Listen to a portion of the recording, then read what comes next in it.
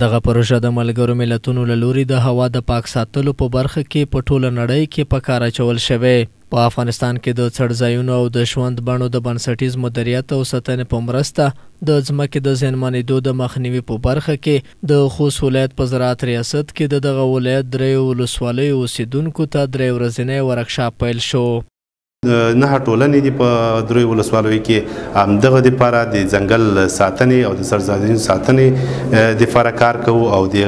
ځنګلونو او د سرزاینو په بیا رغونه کې کارونه کوو او د دې لپاره د بدیل معیشت پروژې لرو ترڅو چې هغه ځنګلونه او طبي منابع له لاس ورنکو هغه لمنځ لاړ نسی او بلکې برته غباړی ورسټي د ژوند تنوع چې دغه برته منځ تراسي د دغه سیمینار برخوال بیا د خوست ځنګلونو د ساتلو په برخه کې دغه ډول پروګرامونه ضروري بولي او زیاتوي چې اوسمهال خپلو اړوند سیمو د ځنګلونو د ساتنې لپاره لاس په کار شوي دي.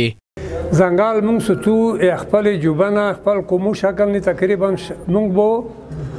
دوه نیم زره کوره قوم بوو دا کې لاس پنځلس کلیه موبجود دی کنه د غره د ځنګله ته دا وړه خدمات ورکو په دا شکل نه موږ ستو جی ایپ موسسې په همکارۍ مونږ یو ټولنه جوړه کړې ده چې د دې پورا د دینه ساتنه وکړو ترڅو یې څړ ځایونه او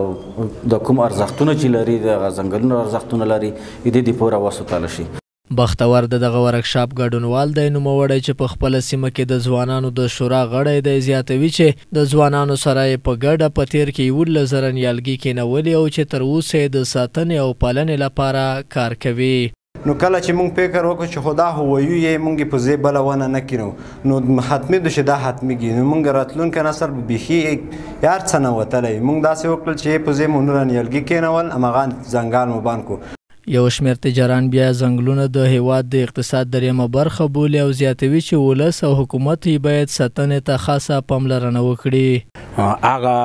درېیمه حصه اقتصاد دی چې په مخ یې وري. د ټولې ځنګلونې د بیا جوړولې د پوره باید ځون ته یوه مشخصه یو پروګرام جوړ شي چې افغانستان کې له یوه ګوټ نه ونسه بل ګوټ پیره هغه خورا تشخیص شیږه چې په کوم ځای کې کومه ونه کوم بیټی په دې کې ډېر کور کی